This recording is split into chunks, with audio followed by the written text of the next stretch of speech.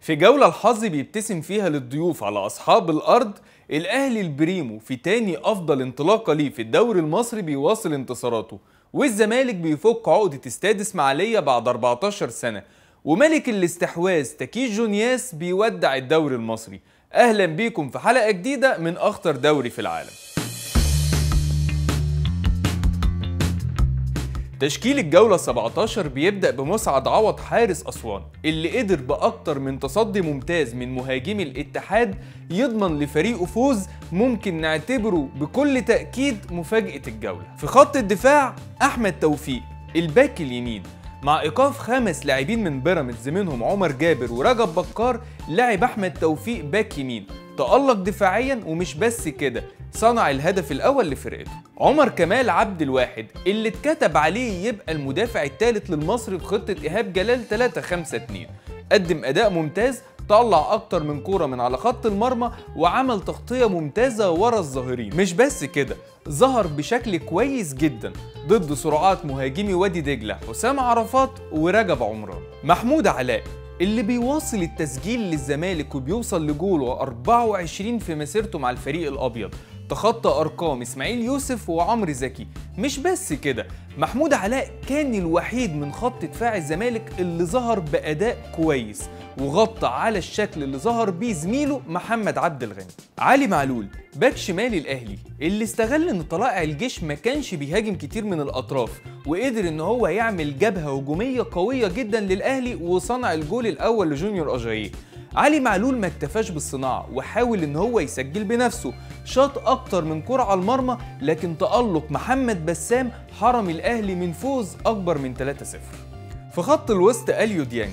اليو ديانج مش بس بيقطع الكورة للأهلي وبيقتل هجمات المنافسين لا بيلعب أبسط كورة من بين كل لعيبة خط الوسط في الدوري المصري. بيسلم الكورة صح علشان يبدأ بنفسه هجمات الأهلي. وده اللي شفناه في كورة الجول الأول لما قطعها ولعبها لجيرالدو ومن جيرالدو لعلي معلول ومن علي معلول لأجاييه علشان يبقى جول أجنبي بامتياز للأهلي. مع زميله عمرو السولية اللي بيعوض جمهور الأهلي على أدائه مخيب للأمال ضد بيراميدز. قدم ماتش كبير في نص الملعب ضد طلائع الجيش وسجل جول عالمي. عمرو موسى لاعب وسط المصري. اللي الحظ والعرض حرموه من ان هو يسجل جول كان هيبقى أجمل بكتير من جول عمرو السولية. رغم إنه كان تبديل اضطراري ونزل مكان بهاء مجد المصاب إلا إنه بعد سبع دقايق من نزوله قدر إنه يصنع الجول الأول للمصري ويقدم ماتش كبير جدا. هو كمان مع زميله مفتاح طقطق اللي قدم أفضل أداء ليه مع المصري يمكن بداية الموسم. وده لأنه سابه من اللعب الغير مجدي على الطرف وتحول لعمق الملعب علشان يشكل ثنائي قوي مع أوستن أموتو ويسجل للمرة الأولى من الجولة الخامسة. ويلكم باك مفتاح طقطق في خط الهجوم فادي فريد مهاجم أسوان الشاب واللي كان حاسم في حسم أسوان لتسع نقط في آخر ثلاث ماتشات. ضد الاتحاد هو اللي بنفسه خطف الكورة وبثقة عالية جدا قدر إنه يسجل هدف الفوز المفاجئ على الاتحاد. الاسم التاني في الهجوم أحمد ياسر ريان اللي كان مصر إن فرقته ما تخرجش من غير نقط ضد حرس الحدود. قدروا إنه يسجل جولين للجونة واحد منهم من ركلة جزاء والتاني من رأسية ماركة مسجلة أحمد ياسر ريان علشان يخرج بالتعادل في ماتش صعب. أفضل فريق في الجولة المصري اللي أخيرا بفوزه على وادي دجلة 3-0 بيرجع للانتصارات في الدوري لأول مرة من 2 يناير لما فاز على سموحة في الجولة ال11 الأحداث اللي كانت قبل ماتش المصري ودجلة وتداول شائعات عن وجود خلافات ما بين إيهاب جلال وإدارة المصري وتقديم إيهاب جلال لاستقالته بالفعل بعد التعادل مع طنطا ادانا إحساس إن الماتش هيكون صعب جدا على المصري. لكن لعيبة المصري الحقيقة كانوا قد المسؤولية وقدموا أداء ممتاز جدا من ضغط عالي وأداء هجومي من أول دقيقة في الماتش علشان يكسبوا 3-0 ضد منافس صعب وكانوا قادرين إن هم يزودوا عدد الأهداف. الماتش الجاي هيبقى ما بين المصري اللي هو أفضل فريق في الجولة دي ومنافسه الأهلي اللي أكيد لو ما كانش المصري عمل الأداء ده كنا هنختاره أفضل فريق في الجولة. أفضل لاعب في الجولة عمرو السولية نجم الأهلي. بعد أداء للنسيان ضد بيراميدز عمرو السولية بيعود سريعا للتألق. مش بس علشان سجل أجمل أهداف الجولة لا علشان ساهم في إن خط وسط الأهلي يستحوذ استحواذ تام على الكورة ويحرم طلائع الجيش من إنه يهدد دفاع الأهلي أو محمد الشناوي بأي شكل. السولية كان من أكتر لعيبة الأهلي اللي قطعت الكورة ضد الجيش وكان دايما بيظهر لزمايله عشان يستلم الكورة منهم ويساهم في بناء الهجمة. علشان كده كانت دايما تمريراته لقدام وده اللي بيخلينا نختار السولية مش علشان الجول بس نجم الجولة.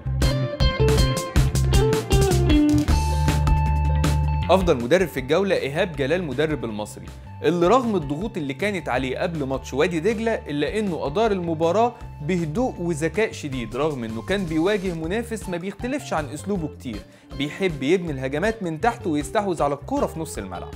لكن تنظيم إيهاب جلال للعيبته كان أعلى كتير واعتماده على طريقة 3 5 2 إدى للمصري كثافة كبيرة في نص الملعب.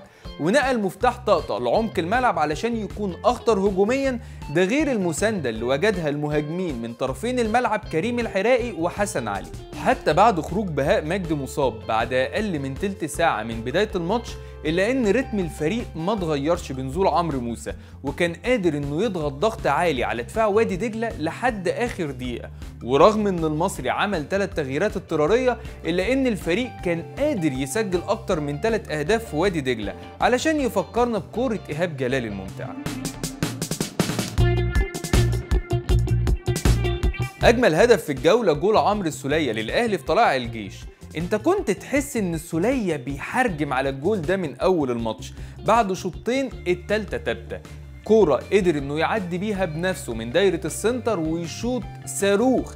لبس في وش رجله صح علشان يروح للمقص الشمال لمحمد بسام ويبقى هدف الجولة من غير أي منافسة. مفاجأة الجولة الانتصار الثالث على التوالي لأسوان. بعد فوز أسوان على الاتحاد في اسكندرية صفحة أسوان على فيسبوك كتبت تماسيح النيل ما زالت تلتهم الأخضر واليابس. ومش هتلاقي وصف أحسن من كده للصحوة اللي بيعيشها أسوان والثلاث انتصارات على التوالي اللي حققوهم علشان يوصلوا للنقطة ال 18 أسوان بكده عادل الرقم التاريخي اللي حققه موسم 97 98 بتحقيق ثلاث انتصارات متتالية على التوالي. أغرب لقطة في الجولة إصابة الهاني سليمان بجد. أكيد بنتمنى للهاني سليمان السلامة لكن لقطة وقوعه وخروجه مصاب ضد نادي مصر يمكن من المرات القليلة جدا أو النادرة. طوال 13 سنة دوري ممتاز للهاني سليمان بيقع فيها بجد ويطلع مصاب. مش مثلا بيقع ويروح قالع الجوانتي ويطلب من الدكتور ان ينزل له ويدردش معاه شوية ويسأله عن أحواله ويشرب بق مية ويلبس الجوانتي تاني وبعدها يقوم يشوف لسه فاضل كام دقيقة في الماتش عشان يضيعه. زي ما وعدناكم دلوقتي هنعرض أبرز اللقطات اللي جات لنا على هاشتاج أخطر دوري في العالم. وبرضه هنستنى منكم على هاشتاج أخطر دوري في العالم أبرز اللقطات اللي أنتوا شايفينها في الجولة ال 18 علشان نعرضها معاكم.